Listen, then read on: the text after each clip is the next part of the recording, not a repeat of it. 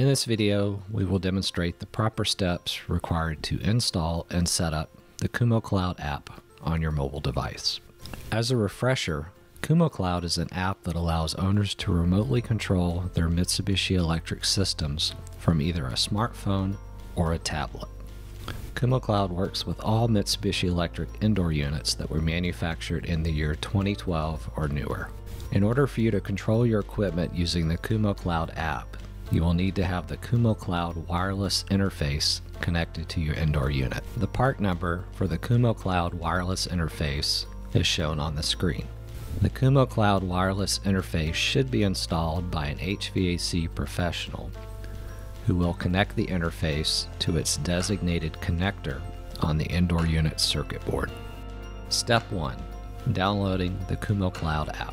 The Kumo Cloud app is available to download from Google Play the Apple App Store, and Amazon apps. Once the Kumo Cloud app has been downloaded, you may open the app and proceed to the next step. Step 2 Create an account. Once you open the Kumo Cloud app, the home screen will appear, followed by the Create Account screen.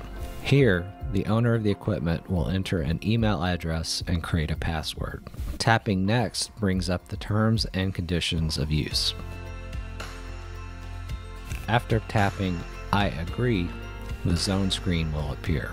This is where you will receive a message saying, No equipment is connected. Ask your professional installer to complete the setup. Before adding the indoor units, please make sure to have your login credentials saved somewhere for future use. Step 3 Wi Fi credentials. Next, we're going to add the indoor units to the Kumo Cloud app. It is important to note that the Bluetooth and Wi Fi capabilities will need to be enabled on your wireless device.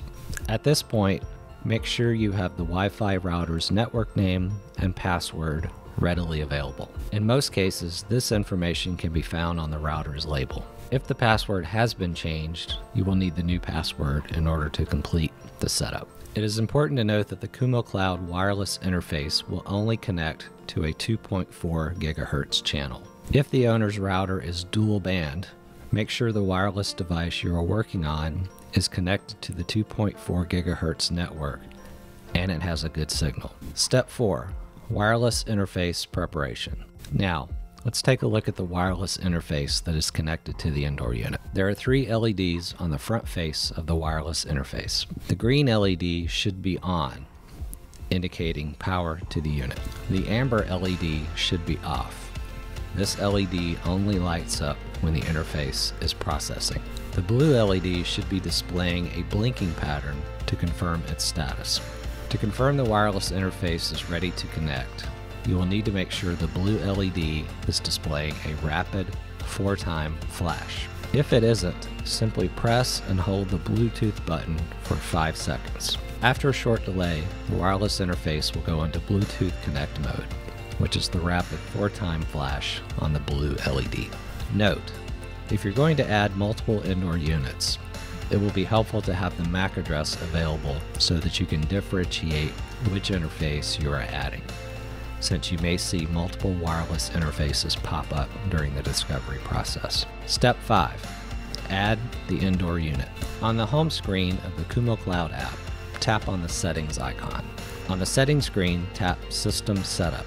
This will allow you to access the installer settings. Tap Installer Settings to continue. At this point, the installer login is required to continue the process. After entering the installer login information, you will be prompted to enter the technician's or company name and phone number. This information will pop up anytime there is an issue that requires an HVAC professional in order to resolve the problem. Next, you will be prompted to enter the name of the job site. This could be named as home, store number, vacation house, etc.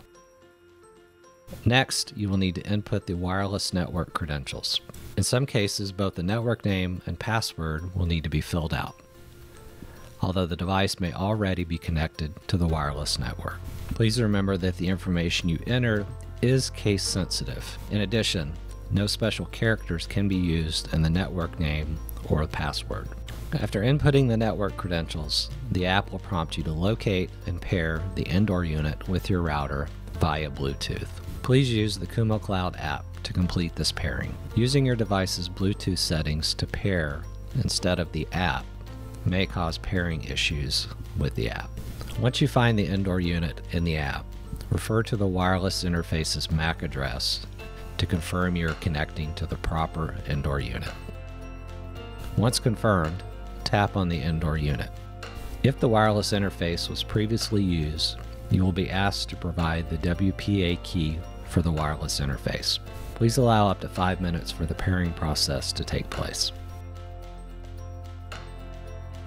Once your wireless interface and router have been paired, you will be prompted to change the zone name of the indoor unit. This could be a name indicating the location of the indoor unit, such as master bedroom, living room, attic, etc. Once you enter the name, tap Next. At this point, you will be prompted to configure your indoor unit's installer settings. After you choose your settings, tap Save to continue. Next, the app will ask if there are more indoor units to connect. If you have more units, please repeat the process. In this scenario, we will choose No, then click Finish Setup. Step 6 Control Equipment. Congratulations, your system setup is now complete. You are now looking at the indoor unit you just added. Click on the zone and turn on the unit to confirm proper operation of the equipment. You can also turn the unit off to test if the app is working properly. This concludes the Kumo Cloud installation and setup tutorial. For additional Kumo Cloud resources, please visit www.mylinkdrive.com and download the operation and owner manuals. Thanks for watching. Be sure to subscribe to our YouTube channel for future episodes of Tech Tips.